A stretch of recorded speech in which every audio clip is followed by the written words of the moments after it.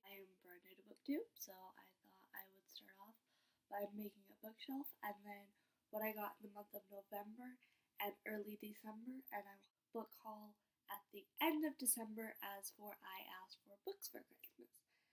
And I asked for books mainly because I don't really have that many books. I just started reading again and I really love it. And I haven't read the Harry Potter series yet and I started that this year. I'm enjoying reading that for the first time and I just cannot wait to get started on booktube and see what everyone thinks. So yeah, let's start off with the bookshelf tour. Okay, so here I just have like a quick little overview of my reading corner and I'll just jump right into my bookshelf. So I have four One Direction books and then I have the sixth book the Mortal Instruments. Um, I have this ginormous Alice Wonderland and I love the cover. Um, I Wanna Be, which my aunt gave to me a while ago. Read that. Um, my Samantha American Girl books, which I read when I was really little. Then I have Love Letters to the Dead, The Fault in Our Stars, um, another Alice in Wonderland, a book called 12 that I had when I was younger, um, Chocolate for a Teen Heart, which I read younger too, Peter Pan, Two Lord of the Rings, first and second, Great Gatsby, fourth, fifth, and sixth of the Kingdom Keepers, um, Wuthering Heights, third, fourth book of Harry Potter, um, Mother Daughter Book Club, a Demi Lovato quote book, uh, two Judy Moody books, Little Women, Wicked, and Catcher. And then I have my book stand thing, or London Inspired. That is just an overview of my bookshelf. Okay, so now that I have done my book tour, I'll do my book haul. So these are the books that I either acquired, bought, or were given during the month of November and early December. I have three books on here that I did get last week. I'm doing a huge Christmas book haul, so the November book and November book haul, and that will just be my dedicated Christmas book haul. So let's get started. So the books that I bought in the month of November and right after my birthday actually is I got the fourth Harry Potter book, which is huge. But I mean I have read bigger, so not too worried about that. But so I required the Goblet of Fire, and I have not started reading it yet. I'm still on the third. I am really excited to read it, and I started reading this because my friend, who is a huge Harry Potter fan, I'm taking her to Universal in Florida in three years. So I was like, I need to get reading. I got the third book, which is Hammered. I'm in high school and I have no for anything in my backpack. But yeah, so I got the third book and I am really close to being finished and then I got Love Letters to the Dead. And I actually, I don't remember where I saw this. I believe I saw on a girl's Pinterest that she had wanted books.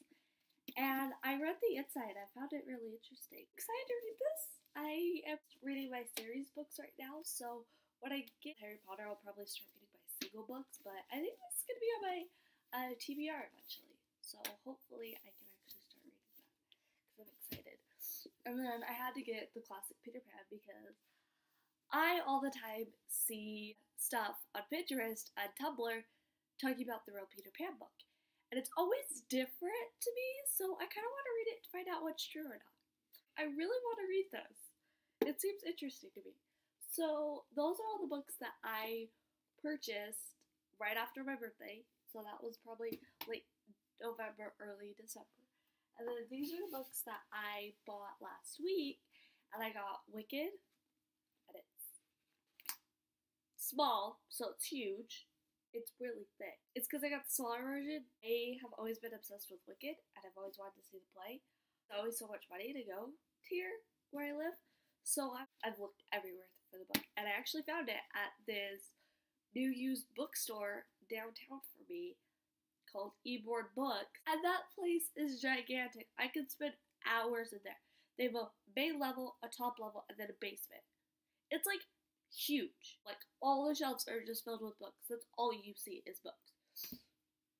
So I bought that there, and then I bought Wuthering Heights, and I actually bought this book because my favorite fanfiction, After, has a bunch of references in this book. So I have been dying to read it because I love that fanfiction. I have to read this. Fanfiction actually it has been published. I believe the first and second book are out now. I had to pick that up because of that reason. I'm rambling. Okay. Uh, next, I got Little Women. Uh, I just love classic books for some reason. I got the book and it was 450. This is still, I am going to buy this. And the books that I was given during this time, I got The Catcher in the Rye, I believe, that she had forever. Kind of classic book that I'll enjoy reading. And then I have the first Lord of the Rings, which my mom used to read to me when I was little. So I've always loved Lord of the Rings, always have, always will. Not see the second or third Hobbit yet. I'm a terrible person. I have no time. But um, so I have this, and I absolutely love it. And I also have the second one. She gave me the second. So I'm just missing the third book, and I really want to get the third book.